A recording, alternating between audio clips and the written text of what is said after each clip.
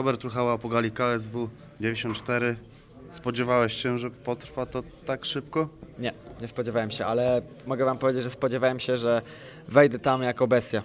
Po prostu jako bestia. Byłem mega naładowany na rozrzewce, po prostu, no nie wiem, kurczę, ile razy tam Filipa podłączyłem.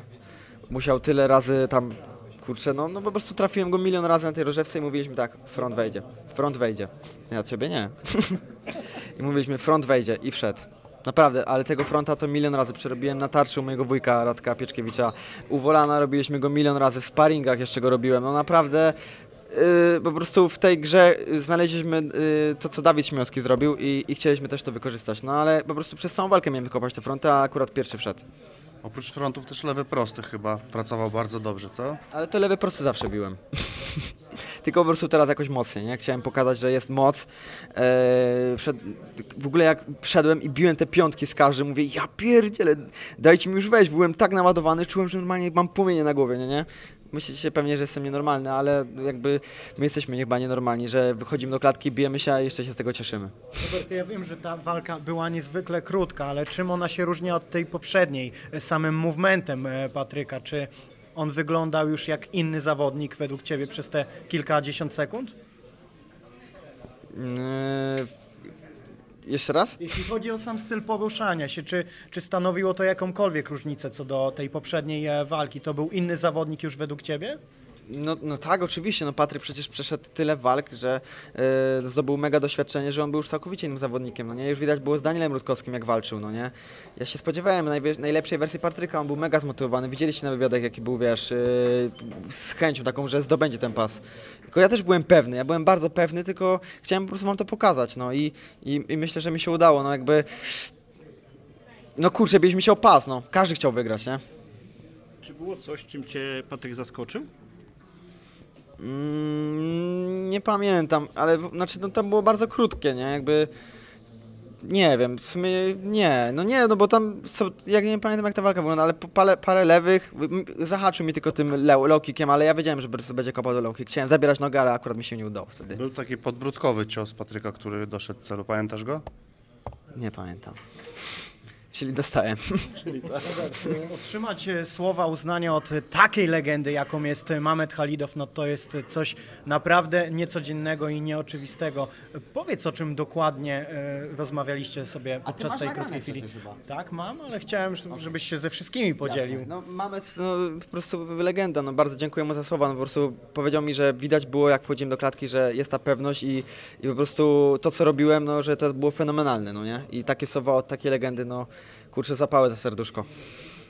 To może teraz walka w boksie, rozmawialiśmy ostatnio, jesteś na nią chętny, ten lewy prosty dobrze pracował, więc kiedy zobaczymy Roberta Ruchałę w bokserskich rękawicach i między linami. Może gdzieś na Epiku jak będzie sytuacja, ale nie, nie skupiam się, no chcę MMA, no jakby to jest, to jest mój bazowy styl, tak? Ja lubię też kopać, lubię wywracać, więc jakby skupiam się na MMA, ale jakby była jakaś sytuacja, że nie wiem, na Epiku można zawalczyć, a daleko mam do walki, to, to bym wyszedł po prostu w bokserskim To może na starciu. gali w Radomiu walka z Danielem Rutkowskim, wczoraj pokonał Salima, Tuari, rewanż za kolegę.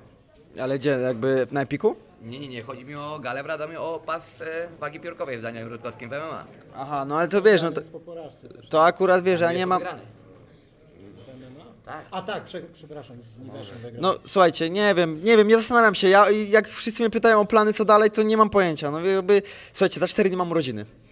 Po prostu chcę się tym teraz nacieszyć, nie? Jakby to jest dla mnie teraz najważniejsze. W ogóle w przedsionku jak wychodziłem, mówię tak, ja pierdzielę, za cztery dni mam urodziny, Robert, nie możesz być smutny na tych urodzinach, musisz to zrobić, musisz zrobić, zabrać ten pas, no i zabrałem, nie? Wiesz, Robert, bo my trochę nie wiemy, co tu z Tobą zrobić, bo pewnie męczą Cię już te pytania po raz kolejny o e, Saladina Parnasa. Nie wiadomo, czy on e, zostanie w KSW, e, czy będzie tutaj, a czy Ty w ogóle widzisz teraz jakiekolwiek e, inne rozwiązanie dla kategorii piórkowej, czy jednak myślisz, że zostaniesz e, tym regularnym mistrzem? Nie wiem. Nie wiem, nie wiem, nie zastanawiam się teraz nad tym. Chcę się cieszyć wygraną, po prostu nie wiem. Jakby zobaczymy, no. To też nie zależy ode mnie, czy, czy Saladin zostanie, czy nie zostanie, czy pójdzie gdzieś dalej, czy ja będę tym mistrzem, czy, czy jakieś inne walki będą. No nie wiem, nie mam pojęcia, nie chcę się nad tym teraz zastanawiać w ogóle. W piątek mówiono, że to jest Ruchała 3-0, teraz strach się bać, jak będzie 4-0. Tak, tak, tak. No, to prawda, ale no na razie 3-0, niech zostanie ta wersja. Robert, no to teraz masz znakomitą e, kartę przetargową do negocjowania walki w Nowym Sączu. Wiemy, że prawdopodobnie w tym roku jej nie będzie, Ale może Robert Ruchała jednak szepnie słówko do władz KSW. No Może i tak, no może, może szepnę, yy, zobaczymy jak to się wszystko ułoży, jaki będzie plan. Też KSW 100 jest fajną opcją, nie? Jakby no, taka gala, tam same gwiazdy też kurczę walczą, pewnie będzie się bił Pudzian, może i Mamet, więc zobaczymy, nie? Yy, no nie wiem, co mam powiedzieć, po prostu jestem tak zadowolony z siebie dzisiaj, że chcę, jedyne co to po prostu chcę wyjść i, i się tym cieszyć, no. Wybaczyłeś już Kamilowi Szkaratkowi? Ale czego? No o, o tym, e, co ostatnio nam e, mówiłeś e, wczoraj o tej sytuacji, kiedy robiłeś wagę z tą suszarką i tak A, dalej. no oczywiście, tak, tak, nie, no oczywiście, że mu wybaczyłem. Y, To, co jak, jak Kamil mnie teraz tu wspierał, mówił tak, Robert, znokautujesz, znokautujesz, zobaczysz, masz takie kopnięcie, masz takie uderzenia, zobaczysz, zrobisz to. No i uwierzyłem, uwierzyłem, dziękuję mu za te słowa. Ogólnie wszyscy we mnie wierzyli, wszyscy we mnie wierzyli, że mogę to wszystko zrobić i no i zrobiłem to, no nie, po prostu wystarczyło uwierzyć. I no oczywiście, że mu wybaczam, no jakby trochę mnie tam mm, męczył, no bo słuchajcie, byłem w wannie, tam gdzieś mi suszarką po głowie jeździł, chciał mi wrzucać do, do tego, do wody, ale wiadomo, żarty, nie?